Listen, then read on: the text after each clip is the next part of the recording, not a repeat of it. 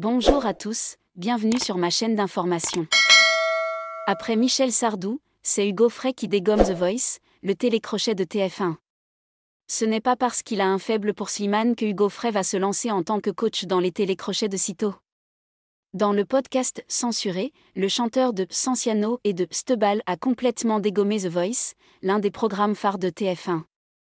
Il a envoyé un message bien senti à la production, en déclarant Jamais, ils m'ont proposé d'être coach et jamais ils me le proposeront. Ils savent que je n'aime pas.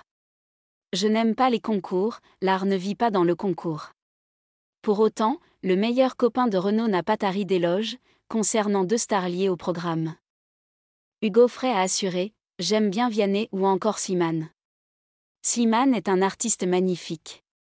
Quand je l'entends, je peux arrêter de chanter. Il se trouve que le premier a accepté de devenir coach de The Voice, depuis la saison 10, en 2021. Pour ce qui est du second, il est le vainqueur de la saison 5, en 2016. Et du côté de la production, ils ne sont pas rancuniers. En effet, en 2021, Jérémy avait chanté Adieu Monsieur le professeur de Hugo Frey sur le plateau de l'émission. Hugo Frey se présente, peut-être, en mauvais bougre, concernant ses émissions. Il n'est toutefois pas la seule star de sa génération à le faire. QTHC, va au terme de 3NM 2024, Michel Sardou DHANHNV Le Parisien RNG ONG CNG NGHNHV. SAES La Java de Broadway SAUO accent aigu noir, NHNG GAMOCD, NHNG KOMT NAT Trom Trang PHC NH Tomum, Mask Singer, The Voice, Toi Kong Kantam.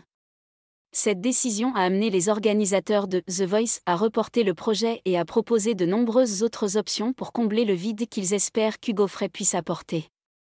Cependant, face au refus catégorique d'un grand nom comme lui, The Voice aura besoin de plus de créativité pour maintenir son attrait la saison prochaine. Le refus d'Hugo Frey de participer à l'émission a suscité de vifs débats parmi les médias et les fans sur l'avenir des artistes vétérans des émissions de télé-réalité actuelles. Merci à tous d'avoir regardé ma vidéo, laissez un commentaire et n'oubliez pas de vous abonner à ma chaîne.